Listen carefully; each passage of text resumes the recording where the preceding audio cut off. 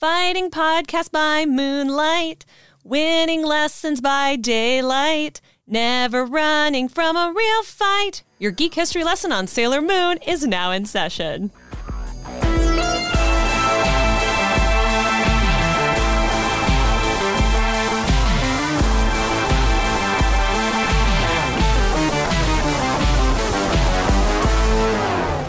Hello and welcome to Geek History Lesson. I'm Ashley Victoria Robinson. And I am Jason, sometimes Jupiter Inman. Welcome to your Mind University because this is the podcast where we take one construct, one character, one book, one cartoon and tell you everything you need to know about it in a little bit less than an hour. And today's subject, today's history lesson, I should say, is what, Ashley? Sailor Moon. Sailor Moon. Yeah.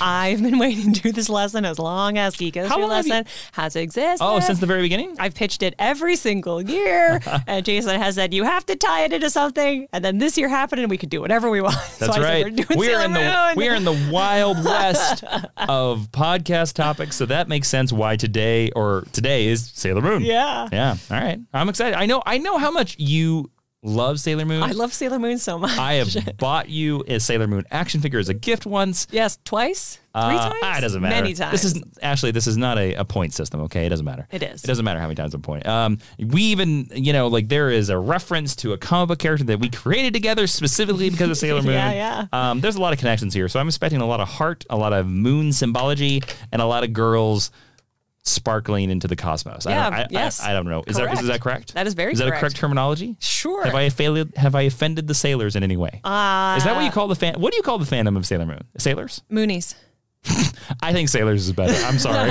Uh, no, actually, I don't really. Um, different subsections have different Yeah. names. I like Senshi or Scouts because Senshi like is translated as Scouts, so because they're Sailor Scouts. Oh, So I oh, like so, so. Sailor Scouts is like their grouping. Yeah, I know I'm like getting. what- I know I'm getting ahead of you. I'm sorry. Yeah, because they wear the sailor uniforms. So like the team, they're Sailor Scouts. I still think sailors are better. So you guys tweet us at, at GHL Podcast on our Twitter and tell us is Moonies better? Is uh, Senshis? Senshis or Scouts. Or is Sailors better? I think Sailors is the winner. I want to give a quick TA shout out to at Charbros, who was the first person who requested this lesson back in 2014. Holy, when we 2014? first got a Twitter, or I'm sorry, when we first had a Tumblr before we had a Twitter. So that something- how long they have been waiting for this lesson. So thank you for this OG request. There you go. Yeah. So should we move into the first part of the podcast? We have a lot of mythology. Okay, the first part of the podcast is the 10 cent origin, where Ashley is going to explain to you everything you need to know about Sailor Moon. I almost said Sailor Jupiter because I know that's your favorite. That's right. Um, in case you go to a Sailor Moon party and you're asked around fancy cocktails and bow ties and ties, hey, who's the Sailor Moon person? Yes. So Sailor Moon is a magical girl genre manga and anime series. If you say manga and you're going to make fun of me for saying manga, don't tweet me. It was created by Naoko Takeuchi. She's so beautiful. She's so lovely. She's so create. I have so much respect for her, and I'm sorry that I said your name improperly. Also, gear up because I'm not Japanese, so I'm doing my very best. But she is one of the most iconic manga creators of all time. The manga was published by Kodansha, or is currently published by Kodansha, which you may know because they published Attack on Titan, Akira, Alita, Cardcaptor Sakura, Chi's Sweet Home, Ghost in the Shell, Peach Girl, Princess Jellyfish, Magic Knight Rayearth, Tsubasa, all of these really, really iconic uh, properties, and a lot of the Clamp stuff is now over at Kodansha. It was originally published in chapters from December 28th, 1991 to February 3rd, 1997. Okay. Uh, which is also, in my opinion, some of the best era of Batman. It was published one chapter at a time, then collected together in 18 volumes. So, this is something that people yell at us a lot about online, Jason, because They do? Um, we like to say that we like the manga model. We like the Japanese model where it comes out of one big collection every six months. Traditionally, manga is published in a digest where you'll get a collect. So you get like a Sailor Moon story, and then you get a Princess Jellyfish story, and then you get a Magic Knight Rayearth story, and then uh, after so much time they collect them together in the volumes. That's changing a little bit now. They are moving a little bit more towards the graphic novel. semantics. But that is how Sailor Moon was originally published. It has spawned subsequent television shows, including Sailor Moon and Sailor Moon Crystal in animation. And it was adapted for television by Toei Animation, who did Sally the Witch, one of the OG magical girl shows, One Piece, Dragon Ball, Digimon. You can also check out our Digimon lesson. I was gonna say that was like Top by me I was gonna say that name sounds familiar. in episode 204. The series follows the adventures of a schoolgirl named Usagi Tsukino. Usagi means rabbit. Usagi Yojimbo? It's like Usagi Yojimbo. Yes. As she transforms into Sailor Moon to search for a magical artifact, the legendary Silver Crystal. She leads a diverse group of comrades, the Sailor Scouts slash Senshi, mm-hmm. as they battle against villains to prevent the theft of the Silver Crystal and the destruction of the solar system. Presently, they are making a two-part Sailor Moon animated movie titled Sailor Moon Eternal to be released sometime in 2020? Question mark. Who knows? And that is your 10 cent origin on Sailor Moon. Shall we move into the next part of the podcast? Yes, the next part of the podcast is the meet cute. That is where Ashley is going to talk about where she first meted and cuted Sailor Moon because that is a term we saw in romantic comedy of talking about where characters first meet each other. Ashley, um, I honestly don't have a meet cute for Sailor Moon because I don't remember where I first encountered them. I kind of just feel like I've always known who they were and around. So I am going to pass on this one. Can I actually ask you a quick question? Go ahead. Did any of your sisters watch Sailor Moon? No. Okay. No, I I'm not really sure when it came to America I don't because it came to Canada first. Yes, no, neither one of my sisters of my two sisters, everybody. Uh, there's my geek history. There's my 10 cent origin. two sisters. um, no, I don't remember being aware of Sailor Moon until I was in college. Okay. And I, you know, and I think I was aware of Sailor Moon because I would see like products. I would see Yeah, like yeah, yeah. toys or whatever. And I'd be like, oh, what's that? But I, I, I've never watched Sailor Moon. So I don't really remember when I started watching it, but I started watching Sailor Moon when what is called the Deke dub came out. Okay. Uh, Deke is a Canadian production company, D I C, and the logo comes up and goes Deke. Is the Deke dub also the American version? No. So the Deke dub was the first English language version. It was done in Canada by Canadian voice actors. Okay. It was the first one that came to America, but I don't know when it came to America, but I know it came to America later. There is a new dub, a modern dub where nobody sounds right and Luna doesn't have a British accent and I am very upset by it. Interesting. Uh, but so I came to Sailor Moon when the Deke dub was first airing in Canada. It was before I was in grade school, and I loved it.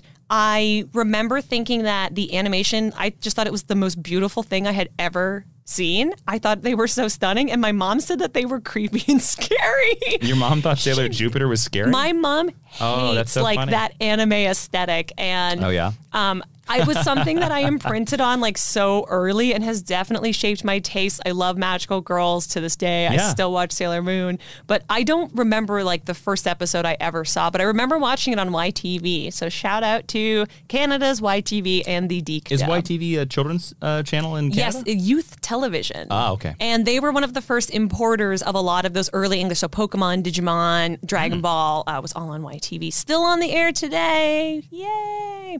So that's my meet cute for Sailor Moon. Uh, they do not sponsor this podcast. They do not. Hey, you wanna?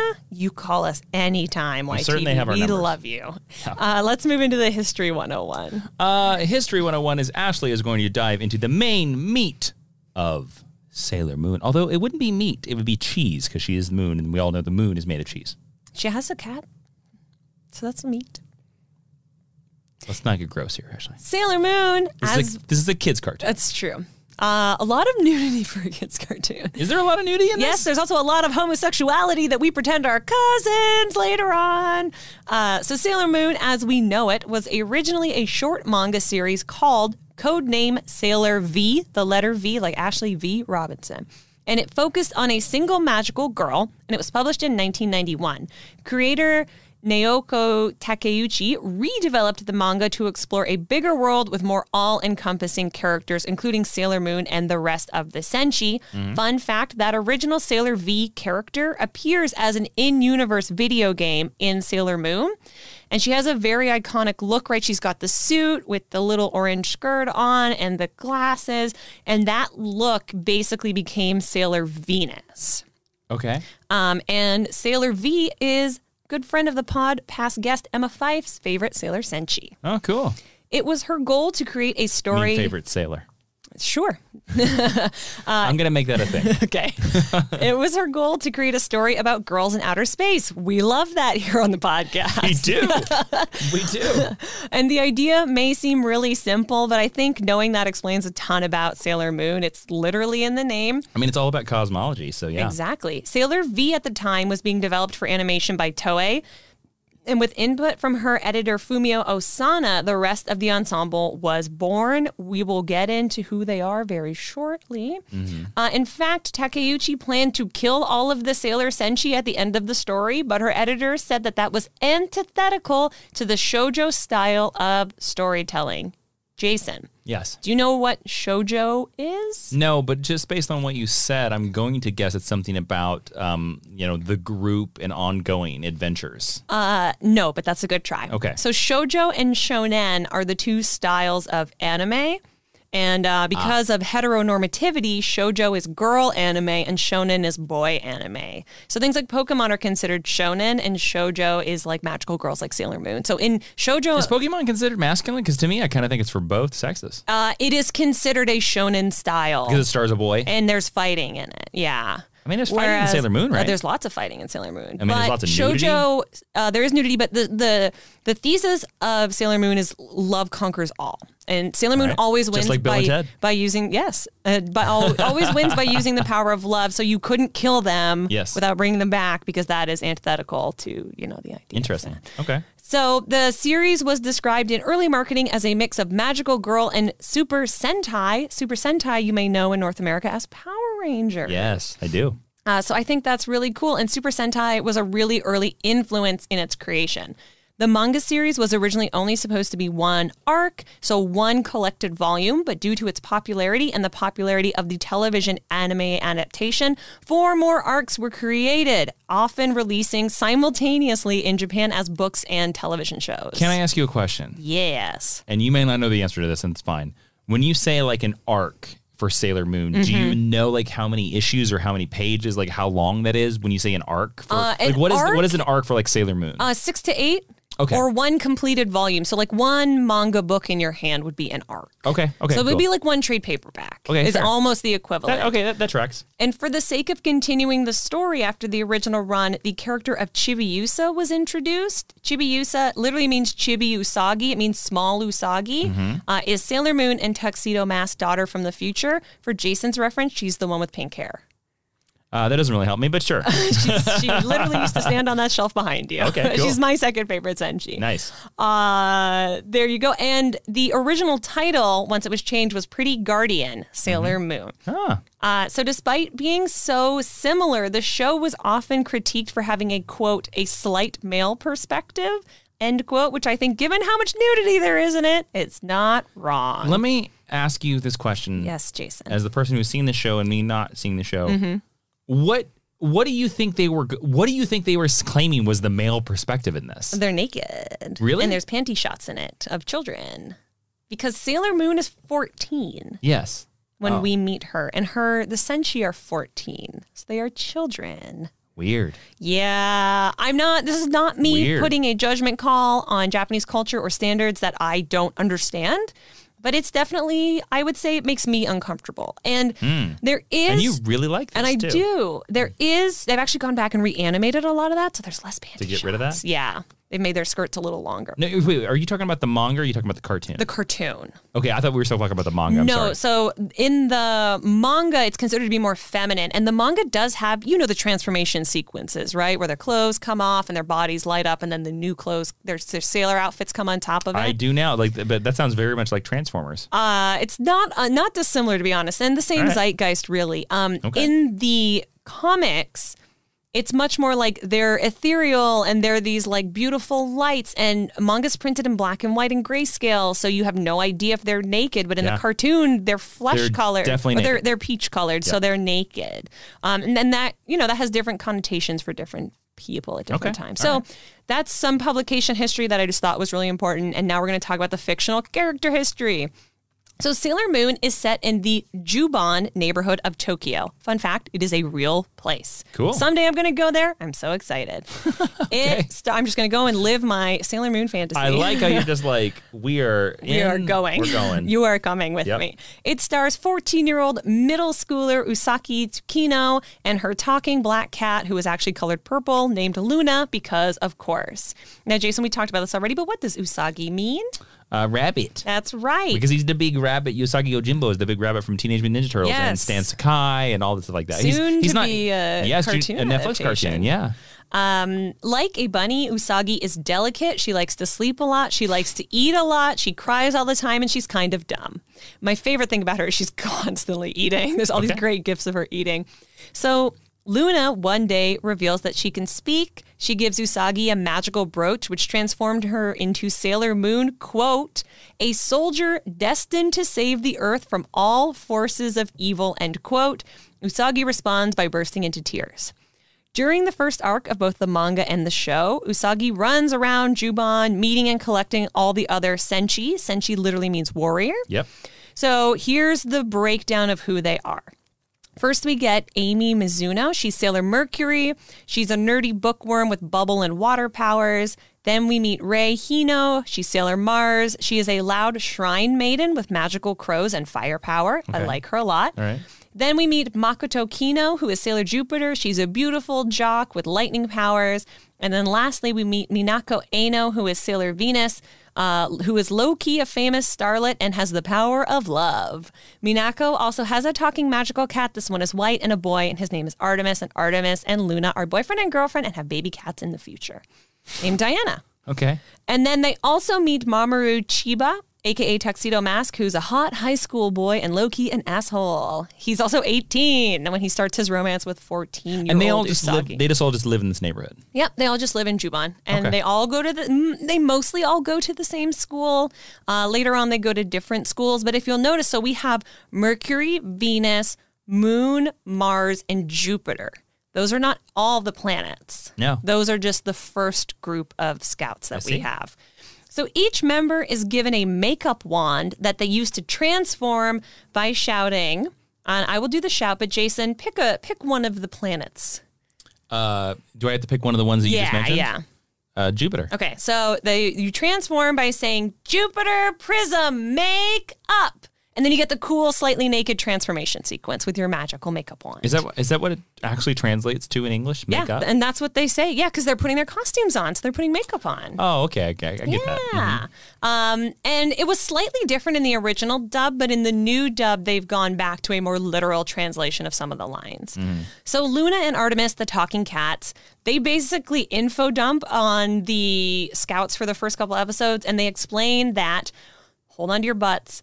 They are a group of reincarnated souls from the royal court of the silver millennium on the moon. And if they want to save their spiritual home out in space, they have to find the legendary silver crystal.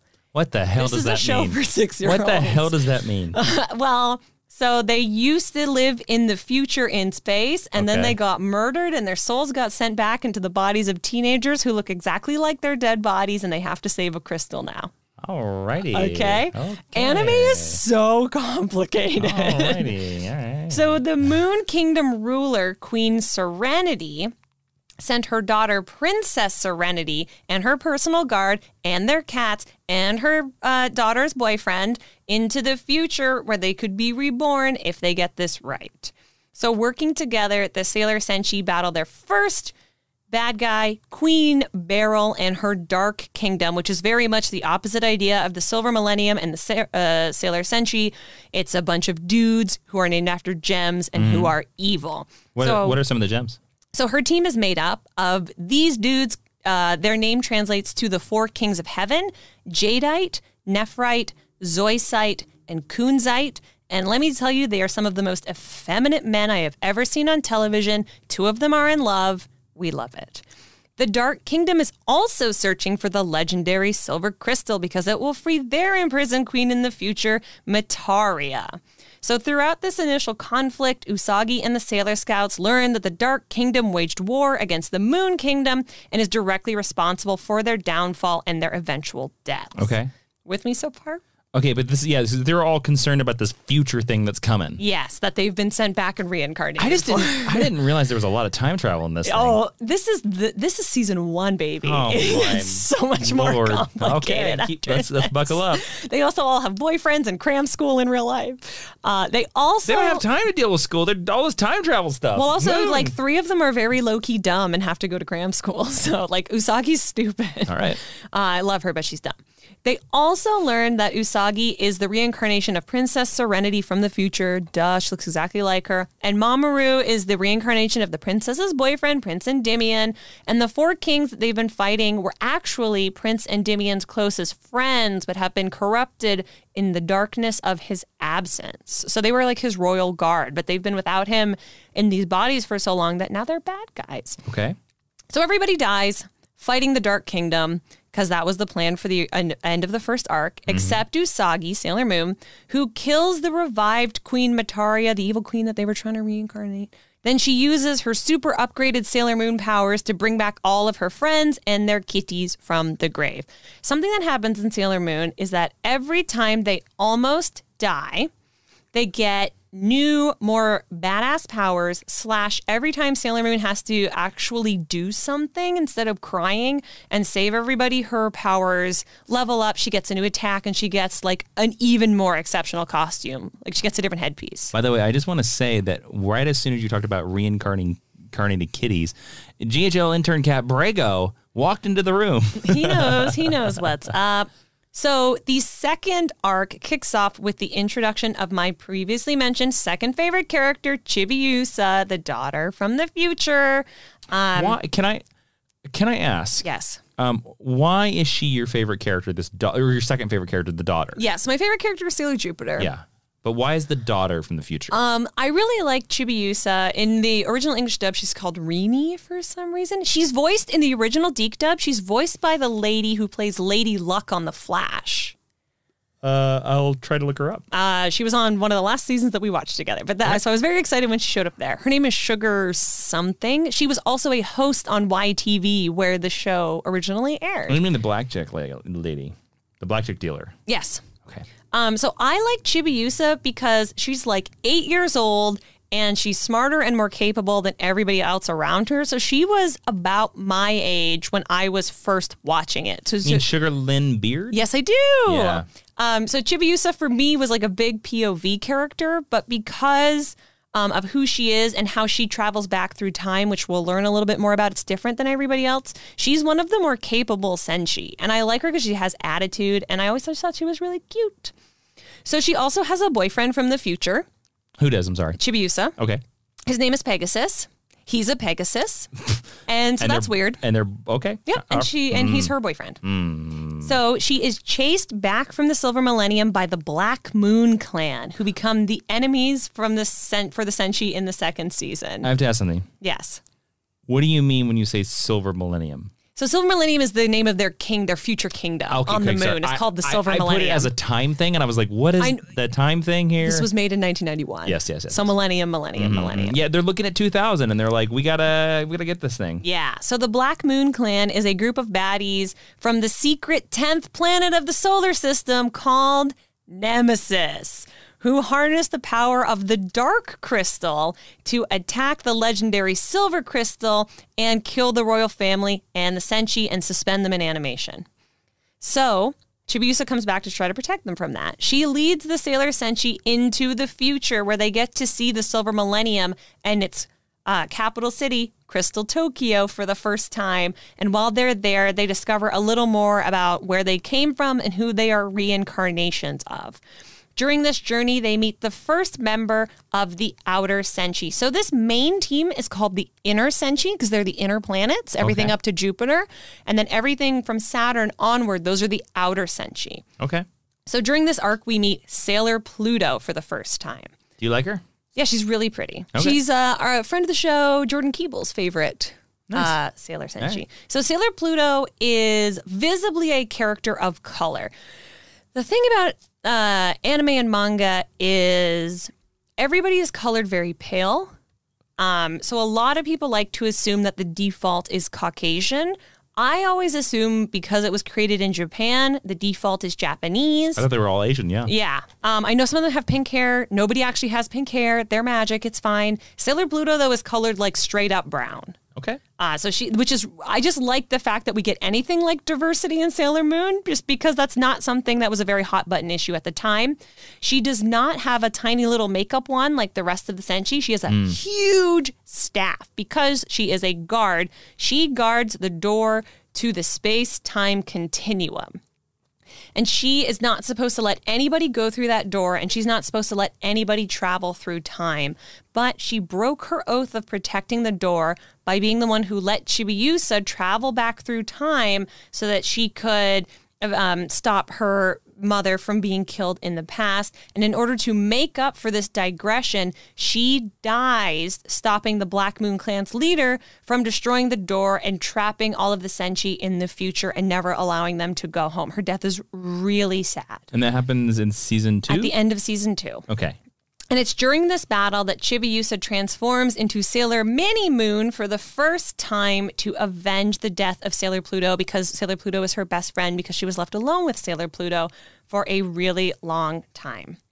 So, speaking of magical girls assuming identities and fighting back death, I want to stop here and say that if you haven't figured it out, our original hero, Jupiter Jet, was named by me after Sailor Jupiter, who is my very favorite Senshi.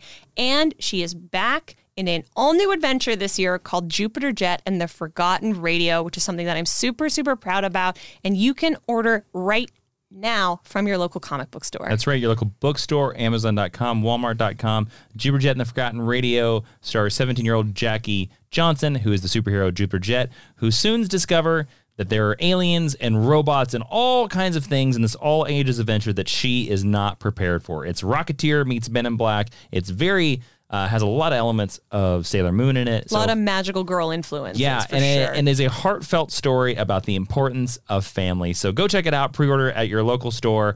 Um, if you enjoy anything we talk about on the podcast, I have a feeling you're going to like our comic book written by Ashley and me. That's true. Yeah, so go check it out. Jupiter Jet and the Forgotten Radio. All right. So now we are back. We are talking about the third arc of Sailor Moon, which is going to include a new group of villains called Death Busters. In the Okay. original English, they're translated to the Bureau of Bad Behavior. They hail from the Tau Nebula and they want to bring Pharaoh 90 to Earth to take over. Pharaoh, Okay, what is that second word? Pharaoh 90? Is it the actual word 90? It is, yes. No, Okay. it's the number 90. Like That- nine right. is like Pharaoh, like from Egypt. I just wanted to be sure. There, there, was a, Nine there was a brief moment where you said it, and I was like, "Is she saying ninety or knifety?" Yeah, yeah. It's like a vaguely Egyptian looking villain. Okay? Okay, all right. Every season, they're going to meet new bad guys with weird cosmic powers. They were created and led by Professor Soichi Tomo. So, to combat Pharaoh 90 coming to take over the world, Sailor Moon gets her hands on the Holy Grail. Yes, that Holy Grail. Whoa, whoa, whoa, whoa, whoa, whoa, whoa, whoa. Stop the presses here. Sailor Moon deals with Christianity? Oh, yeah, baby. Okay.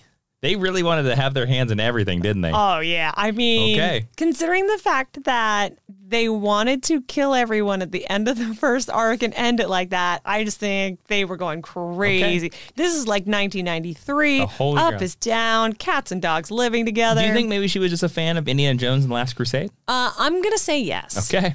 that came out in 89, so. Sure, let's say yes. All right. No other mythology, just Indiana Jones. Indiana Jones. She's So- a big fan of Indiana Jones. Sailor Moon gets her hands on the Holy Grail, and the power of the Holy Grail allows her to transform for the first time into Super Sailor Moon. wait, whoa, whoa, whoa, whoa, whoa, whoa.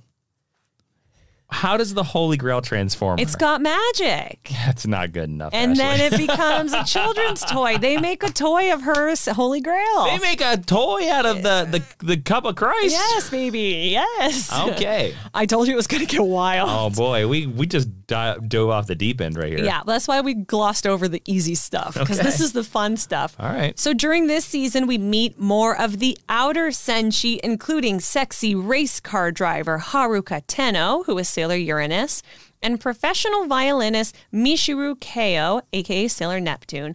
They are tasked with protecting the outer rim of the solar system from any threats, basically from further out in space. So they're the last line of defense before you enter the soul system. In the original Japanese version, Michiru and Haruka are girlfriends, and in the original Deke dub, they're cousins, which is way creepier. And they can say cousins all they want. Even six year old me knew they were girlfriends. Mm-hmm. Like, they don't do that much to hide it.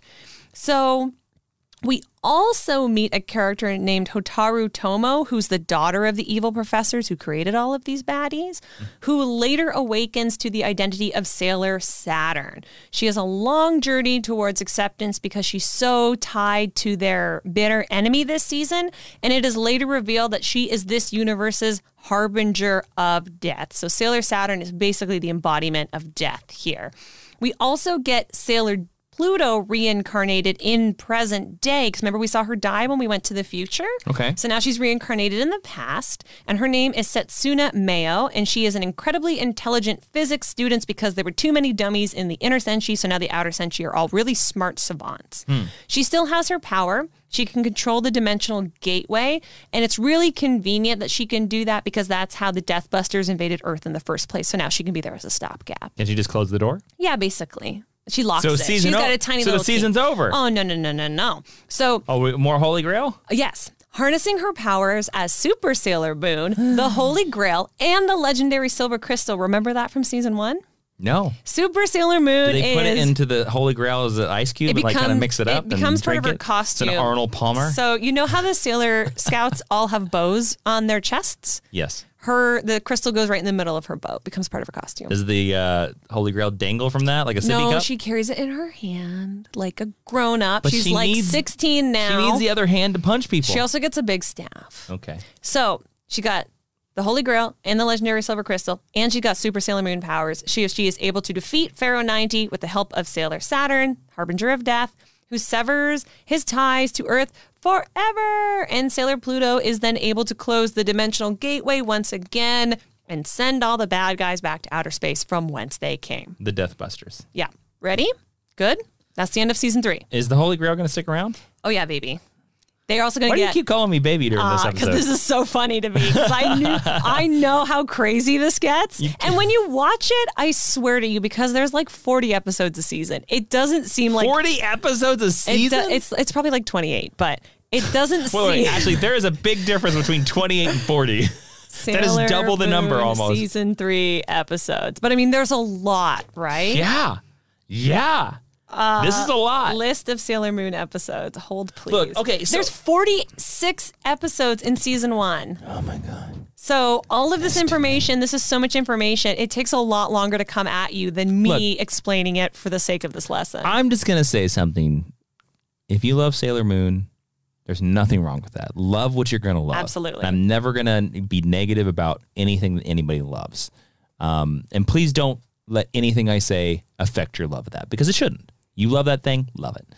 Um, I will say this from listening to this history that I'd never heard before. we have two more seasons and a bunch of movies together. Oh boy. um, I was kind of with it. And I kind of was like, okay, I can see where they're going. And then when the Holy Grail came out of left field, I was like, what is this?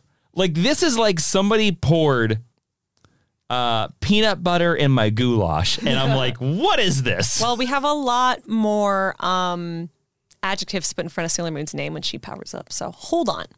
So Yeah. then the Now we're in fourth, season four. fourth season. okay. So Sailor Moon and the Senshi graduate from middle school and they go into high school and Tuxedo Mask is finished with high school. And so they face off against a new group of villains called the Dead Moon Circus, led by the all-time greatest Sailor Moon villain, Queen Nehelenia, who claims to be the rightful ruler of the Silver Millennium and the rightful ruler of Earth. And as per, she's trying to get her hands on the legendary silver crystal because that's what all the bad guys want to do. We also learned during this arc that Tuxedo Mask possesses the legendary golden crystal. Get it? Gold, silver, gold, mm. silver, which is the sacred stone of the Golden Kingdom instead of the Silver Millennium, which is in fact a mystical place on Earth that Queen Nehelenia spends most of the season trying to invade. What was the name of that place again? I'm sorry. The uh, the uh, Golden Kingdom. The Golden Kingdom. Okay. Golden Kingdom. So combining the legendary gold and silver crystals with the Holy Grail and the powers of the Senshi, Oh, put this away. Sailor Moon is able to transform into Eternal Sailor Moon with an even bigger staff and a better costume, and uses her enhanced powers to defeat Queen Nehelenia, who is truly so awesome.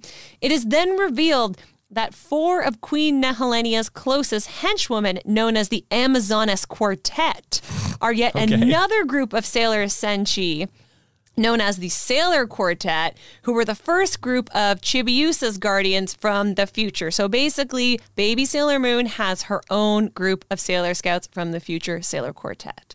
And they have a bad version of them, the Amazonas Quartet. And they were only behaving evilly because they had awoken too early. And as a result, Queen Nehelenia was able to take advantage of them and corrupt them. But now that Chibiusa and Eternal Sailor Moon are there, they are good again. Okay? Uh, I'm fine with all that. That's that. season four. I'm fine with all that. Now, season five, the final season, The final season. where Sailor Moon and her Senshi. Wait, wait. Can I take a prediction? sure. Jesus Christ is like, give me back my cup. Uh, no, Jesus Christ blessedly does not show up in, in this show. Well done with that wordplay. Thank you. well done. So Sailor Moon and her Senshi battle a group of evil Senshi led by Sailor Galaxia, who wants to take over Cool the name. galaxy and kill another bad guy named Chaos. Plus, she also wants to steal the legendary silver crystals and the rest of the magic crystals as well to enhance her powers. What about the Holy Grail? No, she's not interested in the Holy Grail, just the crystals. Why not? We've been interested for we're at three seasons This now. This is Japan. Uh, Ray is uh, um, not Christian, so that we have no room for Christianity. Galaxia is incredibly powerful, and she manages to kill Tuxedo Mask and a bunch of Sailor Senshi, and even manages to collect several crystals over the course of the season. Mm-hmm. In order to save the love of her life and her friends, Sailor Moon travels to the Galaxy Cauldron to fight Sailor Galaxia, and she is accompanied by the Sailor Starlights. So the Sailor Starlights come from the planet Kakyu, where they protect Sailor Chibi Chibi, who is a literal infant. Jason, who Oh, do you think Sailor Chibi Chibi is? Chibi means little, so this is little little. I don't. I have no idea. Wrong. She Uh, yeah, is obviously. the goodness that used to exist inside Sailor Galaxia but doesn't anymore, and so instead it was railored into a baby Sailor Senshi. Okay? Um, how does the Holy Grail figure into this? Uh, we're still using it to fight Galaxia. Okay, that's all I care about at this point. So, along with Sailor Okay. Chibi Chibi, her guardians, the Sailor Starlights, Uh-huh. Eternal Sailor Moon is also joined by Chibiusa, her daughter, and the Sailor Quartet, her Sailor Scouts, and there ensues what is basically a war with Sailor Galaxia. Can I ask you a question? Yes. Um, the question I want to ask you is Do you think that instead of just putting more things or more adjectives at the beginning of Sailor Moon's name, that they should have like upgraded her from Moon? Because when you think about it, the moon is a satellite. You know, it's not even a planet. Like the mm-hmm. main character is the moon. So do you think like would because at one point you talked about the Galaxia. Yeah. And like wouldn't have, what do you think about like and then again this is me just throwing out a crazy Yeah, pitch. yeah, You're yeah. a Sailor Moon fan. Instead of her just being Eternal Sailor Moon, and I know that's her name. Yeah. Would you have been okay with it? They would have been like, no, now she's Sailor Galaxy. Now she's Sailor Universe. Now she's Sailor Comet. So I used to think about this a lot when I was a kid because I do not understand why you would call her Sailor Moon and the rest of them are actual planets, Planets, right? yeah. It- like you say, it seems like a downgrade. Uh-huh. However, now And I- there is no Sailor Earth, right? No, there's not. Okay. But now um, I've really come around to her being called Sailor Moon because I'm so glad there's not a Sailor Earth because it feels lame because we know a lot about Earth. Or a Sailor Gaia. yeah. Um, so the moon in terms of being earthbound, is the most mysterious thing that you can have. I guess. So I like that she is Sailor Moon. And if she is Sailor Moon and that is where their kingdom is based, you can't be better than Sailor Moon. Okay, fair. fair. Um, I know the adjective thing is strange, but it is um it is a very magical girl trope. Okay. So I'm okay with it. All right, uh, totally fine. Also, because ultimately you just call her Sailor Moon, it's fine. So, during the ultimate battle against Sailor Galaxia, it is revealed that Sailor Chibi Chibi, remember her, all of her old goodness rendered into a baby? I remember she made the tiny chibi chibi. Well, her true identity is Sailor Cosmos. Wait, wait, whose true identity is? Sailor Chibi Chibi.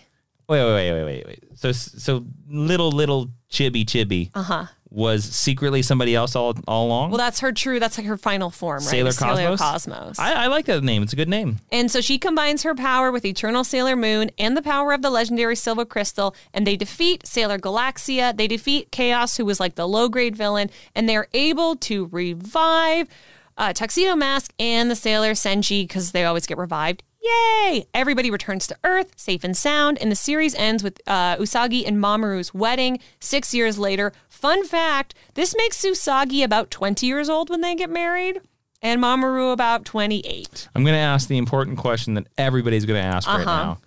What happened to the Holy Grail? I think it just like lives in her house. So Sailor Moon has it. Sailor Moon has it. She just drinks Just Arnold. Palmer's out of it. Um, I, I'm well. Since this is Japan, I'm going to say she drinks matcha out of it. Okay, cool. Now, I want to say I know anyone who's a huge Sailor Moon fan is like screaming because I left out so many subplots. You can't include everything. Everybody. There's a whole You can't do it. subplot where where Chibiusa, who I love, um, an adult version of her called Dark Lady is a villain that they fight. I from like the that name. future. Oh, I like she's that name. So beautiful. Dark Lady. That's really yeah, cool. She's, evil Sailor Moon. She's evil Chibiusa, the pink-haired Oh, sorry. uh, sorry. daughter from the future comes back and fights them. Uh, there is so much mythology here, and I tried to hit what I thought were the most important parts in each arc. Please, if I miss something you love, shout it out on Twitter at GHL Podcast, and I will share it for other people But be very out. kind about it because there's no point in sharing the tweet of "you forgot this, so you're wrong." No, it's impossible to talk about everything. This is one of the. This has been one of the hardest lessons for me to try and pare down, and I also. Just to be honest, I tried to hit the points that I thought would make the most sense for Jason receiving all of these names at the same time. I'm glad time. you included the Holy Grail. Yes, I knew I had to.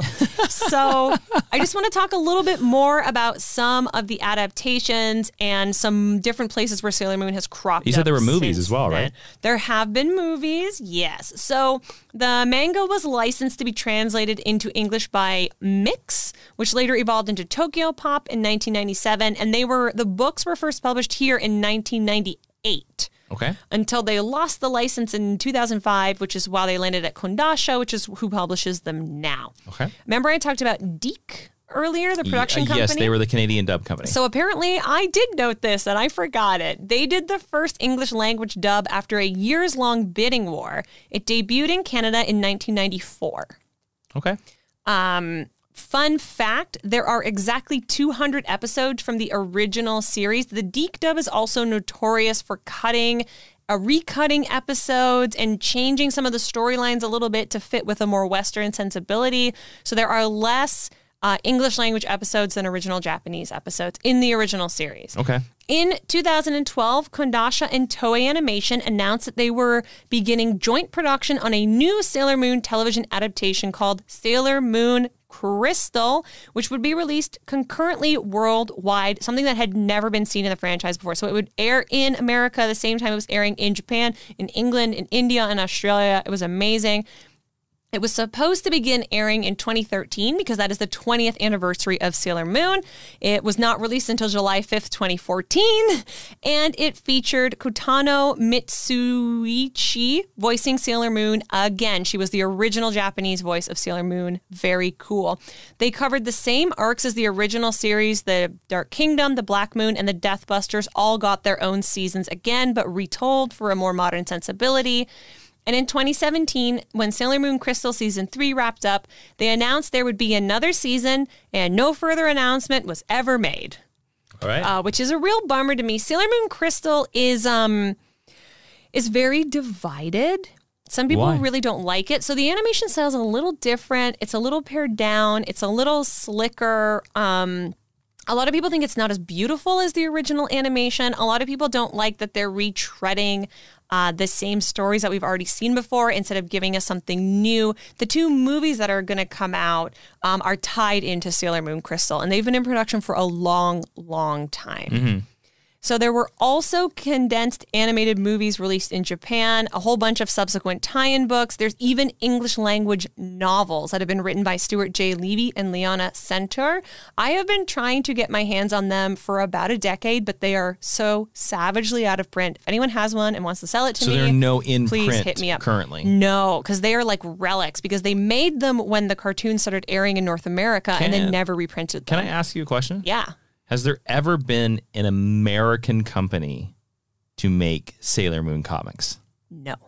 Interesting. only to reprint them and translate them. They've always been original Japanese, you know, I- underseen, I- overseen by the original creator. Which Weird. is so I guess cool. I would have thought that like an American comic book company would have picked up the rights and been like and given it to an American writer. Um, You know, manga's really weird like that, Mm-hmm. and I also bet Sailor Moon is very expensive.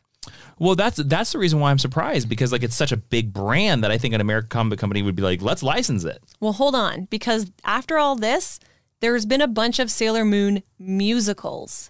What? I know you're going to think this is insane. I just want to mention them really briefly because they're really hard to find online. I don't speak Japanese, so I don't understand much about them. They've never been translated in English, but they are a huge sensation in the fandom. There have been, Jason Inman, 30 Sailor Moon musicals, three zero.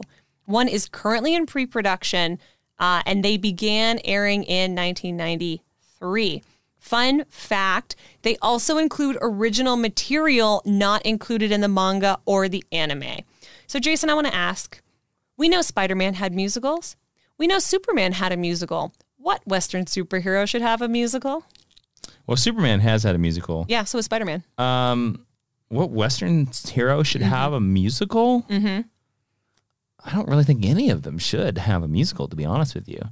Um, I mean, part of my gut said Miles Morales, but we've already seen a bad Spider-Man musical, so I don't know if I want 2 Mm-hmm. None of them. I mean, maybe uh, I'm gonna go. I'm gonna throw out a crazy pitch. Let's say Wonder Woman, Great. because Wonder Woman. with Wonder Woman, you could lean into not only the 1970s when the TV show was, Ooh, disco. But you could also like throw in. Here's the cool thing you could do with a Wonder Woman musical that you couldn't do with a lot of other superheroes. You could bring back, if you, if you know anything about classical theater, the Greek chorus. They could be the narrators of the play. You could make a lot of Greek mythology jokes. Um, you know, and Hercules, the Disney movie, also proved that as well. Um, all right, so I found a clip from Pretty Guardian Sailor Moon. The Super Live sings Moonlight Densetsu. Apparently, it This was is going to be in Japanese, so just Apparently, it was a 2.5D musical adaptation celebrating the 25th anniversary of the popular Japanese manga series, which finally hit the U.S. It made its American premiere in the Washington, the Warner Theater in Washington D.C. on March 24th, 2019. Here is the song. Ready? Here we go. Oh, this is the theme song. I know all the English words to this. so far, nobody's singing. I don't know what's going on here.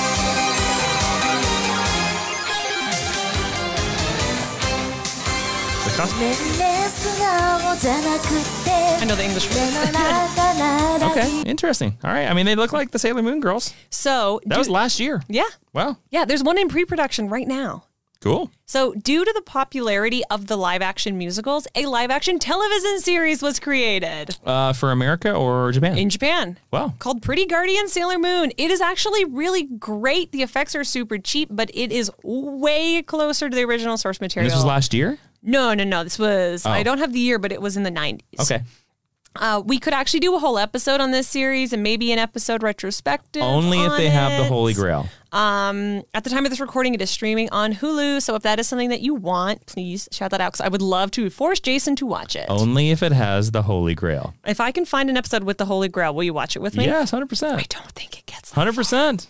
Uh, I'm is- in if it has the Holy Grail. That is my bar for get Sailor. Moon. The Holy Grail must be. It is part. It is hundred percent canon now that Sailor Moon must involve the Holy Grail. Uh, so the Pretty Guardian Sailor Moon did not run as long. Um, it's another retelling of the Dark Kingdom arc, which is the original arc. Sure. And there is additional original plot and characters in the series. Uh, and it ended up with two direct-to-video movies to cap it off. Okay. So there you go. There is another series called Special Act that picks up four years after the series. Is it where, called Sailor Moon Special Act? Yes, Pretty Okay. Guardian Sailor Moon Special Act.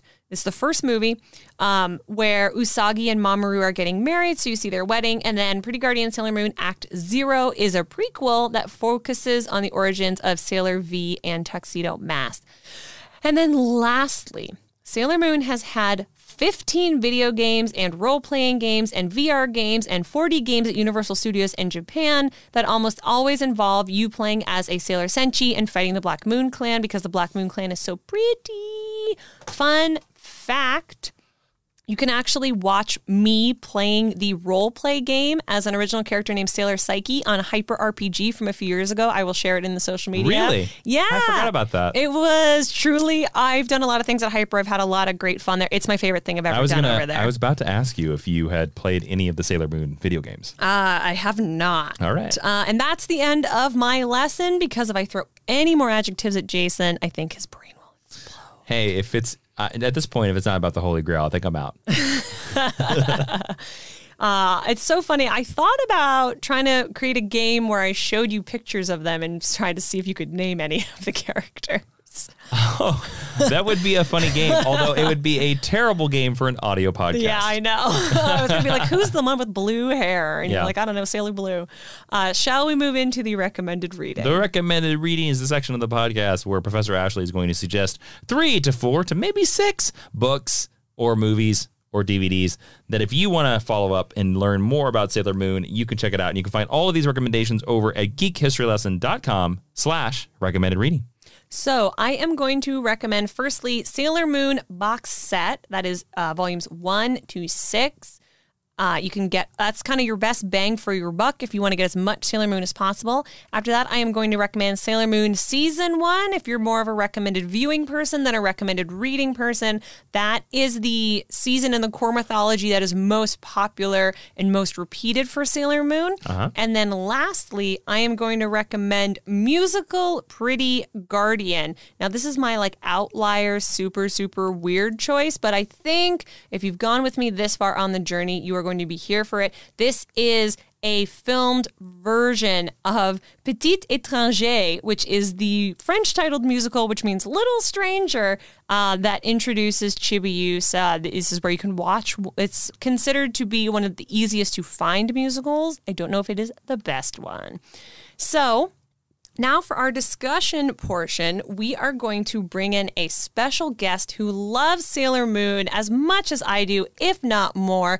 Please welcome to Geek History Lesson, creator of the Adorned by Chi Empire and original manga series, Jacque Aye.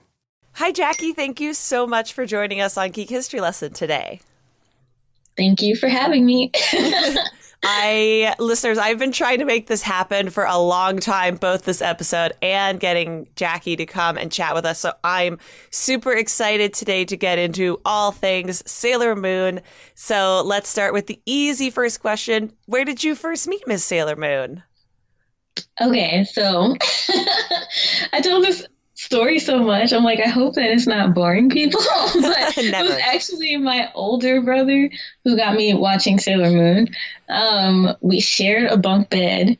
And so whatever he watched, I watched. You know, he watched Power Rangers, I watched Power Rangers. He was watching Sailor Moon, so I was watching Sailor Moon. He clearly has excellent taste. exactly. Or he did in the past. Like he's fallen off. He's not a nerd anymore. But it's okay. Ah, disappointing. I know. but yeah, that was my first like taste of like Sailor Moon and anime in general. Um was like watching it way back when, you know, with my older brother.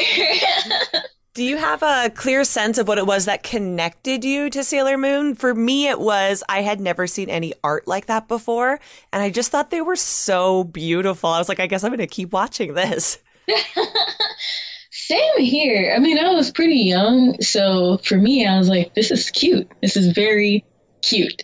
I loved anything that had like girls and girl power. Like I was one of those people. It's like I was all PPG, um, Yes. totally spies. yeah, like anything that was like girl powered. Um, I was all for it. So I definitely loved like the cutesy weapons, like the dresses, the sparkles, the transformations. Um, even like the crybaby nature of Sailor Moon. I'm like, this is this is it. I love it all. It's uh, her crybaby nature is so funny because I feel like in the manga it's much less of a thing than it is in the anime. In the anime, it's like constantly played for jokes, you know. Mm-hmm, mm-hmm. But I love the joke. I, I resonated with you because I've been a crybaby since birth. So preach. I'm like, yes, I see myself. Uh, quick sidebar: Were you a Card Captors or Card Captors Sakura fan as well? I watched it, but I didn't connect as much as Sailor Moon. Interesting. Okay, then let's uh, let me ask you this: Who was your favorite Senshi and why? Okay, so it was kind of, I always say Sailor Moon, but it's actually maybe 60 40, like Sailor Moon and then Sailor Mercury. um, so I, like I said, I connect to the crybaby um, nature, the laziness, loving, loving The food. you are like one of the hardest working people I can think of. You have so much going on. it's crazy because I feel lazy because I'm like doing all this while I'm laying in bed on my laptop. So it's like, it's not like I'm, I'm not physically moving or anything like that. You're Um, fighting evil. I get it. yeah. And then uh, with Sailor Mercury, I was definitely like, I was one of those kids that like everyone thought I was going to go to Harvard. You know what I mean? And like I had all this pressure to succeed. Um, I was shy uh, and everything like that. And so that's why I kind of relate to her as well. So it's like a mashup. Do you have some uh do you have some Sailor Mercury blue hair? You're very you have very iconic hair looks on Instagram. Yeah, I switch my wigs like every maybe two weeks. so I well, I've worn blue hair when I used to sell like the colorful wigs, Yeah, yeah. but since then I have not worn blue hair. But I need to because it was a vibe. There you go. Um, people can't see it, but I'm looking at your Skype icon, and you have uh, that really, really cute purple hair on. Oh, thanks. Very, very magical girl vibes. So it's Yeah. funny when you said um, Mercury. I was like, oh yeah, that's what I would have guessed. it's very. Uh, who is your favorite Game of Thrones character and why? You know what I mean? Hmm Which I don't have a favorite Game of Thrones character because I never finished it. Uh, somebody somewhere is screaming into their iPhone right now. oh, definitely my ex boyfriend because he's a fanatic. Like he's actually like crazy about it. So I've teased this a lot, and I'm assuming that if people are here, they either know who you are or they have done some furious Googling, but we did all of your basic who's it's and what's it's. But let's talk about how Sailor Moon and Magical Girls have influenced your own art and the Adorned by Chi brand. Sure. So, I think anyone who like kind of looks at the brand now would definitely see the strong magical girl influences. I mean, we also have a magical girl comic book, so yeah. um, so yeah, I would say that it's ins- inspire the content, but then also the heart and the vibe because we're all about being nice, um, understanding, inclusive, um, and celebrating femininity. hmm So I would say that's how it's influenced my art and brand. Do you remember what the first Sailor Moon centric piece that you designed was? Yes, it was a shirt that Usagi taught me with like the crescent moon on top. Um, and I had only designed that was one of two shirts that I designed. Um, the other one was like black and proud and like this pink, cute kind of like Barbie font, and then the Sailor Moon shirt. And those two shirts are kind of what exploded my business. Uh-huh. um, before then, I was making like hand flower crowns and um, yeah. So it, it, I just kind of like pivoted. I kept the spirit of like why I started Alive, which was to represent Black women being cutesy, magical, feminine, and all of that. And then I added my other interests, which was like anime, um, feelings. I don't know, feelings aren't interests, but like anime and feelings and you know, my other nerdy pursuits. So um yeah, so it's inspired a lot. My bad. I was talking in circles right then. That's okay. Uh, definitely not your bad. It's interesting that you brought up the Usagi Taught Me shirt because that's the first time I discovered you was I saw a photo of that and I was like, well, I need that. So All right, Jacque, any parting love we want to throw Sailor Moon's way before I let you go and beg you to come join us on the Geek History Lesson Extra? Um, yeah, I want to say that like if it wasn't for Sailor Moon, I wouldn't exist. So there we go. I think that's ultimate love. What a lovely tribute. You can't definitely can't say more than that. All right, listeners, Jacque has very graciously, I say bullied, but it is a jest, agreed to join us on Geek History Lesson Extra. So go and check that out on Patreon, where today we are going to be chatting about how to create your own manga because we've never had a manga creator on the show before. And before we wrap this up, Jacque, can you just let people know where they can follow you online, where they can see all your amazing photos, where they can support you, all that good stuff? Sure. Okay, so you can find me as a person everywhere on the internet at Jacque Aye, and that is J A C Q U E A Y E. Um, and you can follow Adorned by Chi everywhere, and that's A D O R N E D B Y C H I. I am so thrilled that Jacque was able to join us. I have been trying to get her on the show forever, and I'm Such a great conversation. So glad that she could share magical girls with us. All right, so let's go to Jason's favorite part of the podcast, the teaching tweet. The teaching tweet is an ad- antiquated part of this podcast that Ashley and the listeners still want to do because we once did this section where, you know, we talked about the lesson in like 140 characters. And then Twitter made it 280 characters. And so I didn't see the point anymore. But the fans want to keep it. So we're going to do it. Ashley, mm-hmm. you have 140 characters to 280 characters. I don't remember the characters you have anymore. But Ashley's going to sum up everything about Sailor Moon in a tweet. You can find the tweet at GHL Podcast on Twitter. Sailor Moon, shaping the taste of nine. Mm, bleh, bleh, bleh, can't read. Take two. You can find this tweet on GHO Podcast on Twitter. Sailor Moon, shaping the taste of young women in the 1990s around the world by moonlight! Exclamation point. Hashtag Holy Grail. Sure. Hashtag Holy Grail. We'll see if I remember that. I'm writing it down. From everything you told me, it seems to be the most important part. Yeah, definitely. All right, now we're going to slide right into the honor roll. Jason, what's the honor roll? The honor roll is where if you go over to Apple Podcasts and you leave us a five star review, you can literally write anything or you can write about your love of the show and we will read it on the air because it helps new listeners find the podcast on Apple Podcasts. And if you're an international listener, um, you can send us your international review through Apple Podcasts at geekhistorylesson at gmail.com. yeah, because we can't access your Apple podcast. We can't see them. We don't live in your country. I'm sorry. We want to, but we can't. So we have three Senshi joining the honor roll today. First Excited. is Zip Frisbee, who says oh my God, what a name. That's a great. best podcast, period. This podcast is the first one to go to if you want to hear anything geek nerd related. Jason and Ashley would do a great job at breaking down the material. Thank you. So sweet. They are also joined by Landon Towers with Z, so you know they are cool, who says, Y'all be good, real good. Thanks so much for this. I'm 17 and an aspiring filmmaker and love comic book characters.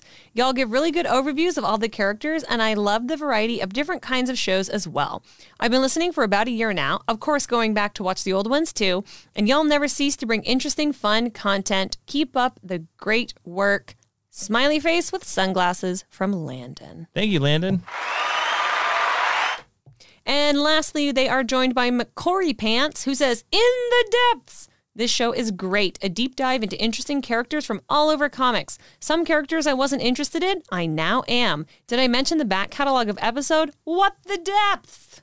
Thank you. You just get very short applause. Yeah, there we go. So, McCory Pants, Landon Towers, and Zip Frisbee, welcome into the Teacher's Lounge. Professor Jason, what is going on in here today? Well, over in the corner, there's a cup that somebody left by the sink. They didn't wash it. You might think it's an old coffee cup, but it's not. It's actually the Holy Grail! And it was left there by Mrs. Cosmic Moonlight Starlight Pluto Astrophysics Aries Hey! Pulaski. Uh, welcome to the Teacher's Lounge. Thank you for your reviews. She teaches ancient Middle Eastern art. Uh, Professor Jason, Yes. would you like to see what the Holy Grail looks like in Sailor Moon? Yeah, I have, I have a handy dandy Only if you share it to the listeners. visual aid. I will absolutely share it, but that is what she looks like. It has wings? Everything in Sailor Moon has wings. All right, fair. Like Yeah. Namor. Sure. Like, Namor the Submariner. Like Namor. there you go. Jason pointing where nobody can see at uh I'm point I'm At point intern I am pointing at GHL intern Brago because I told him to pick up some boxes and right now he is curled into a ball with his face underneath his stomach. And I don't know how that's working. Can I share with you one more fun fact about the Holy Grail? um the real Holy Grail or the Sailor The Moon? Sailor Holy? Moon, Hol- Okay. the only real Holy Grail. well, like I was like, we're gonna go to Monty Python, maybe? Uh, absolutely not. Why not? So, if you want to use the power of the Holy Grail to turn into Super Sailor Moon, what do you think you have to yell? Remember, make up is what we yelled the first time? Drinky drinky? It's crisis, make up. That's what activates Crisis? crisis, baby. Make up. Mm-hmm. That makes no sense. It gives you the power of the spiral heart moon rod and allows you to perform the rainbow moon heartache. If Sailor Moon was based in the DC universe, then that would make sense. There we go. Yep. Alrighty. So don't forget, Yeah. everybody. I didn't realize the podcast is over. Jason part of the pod. don't forget that you can subscribe to this podcast and download this podcast over at Spotify and Apple Podcasts and Stitcher, everywhere you can find podcasts. Go subscribe, download. Tell your friends about the pod. That's how we get new listeners.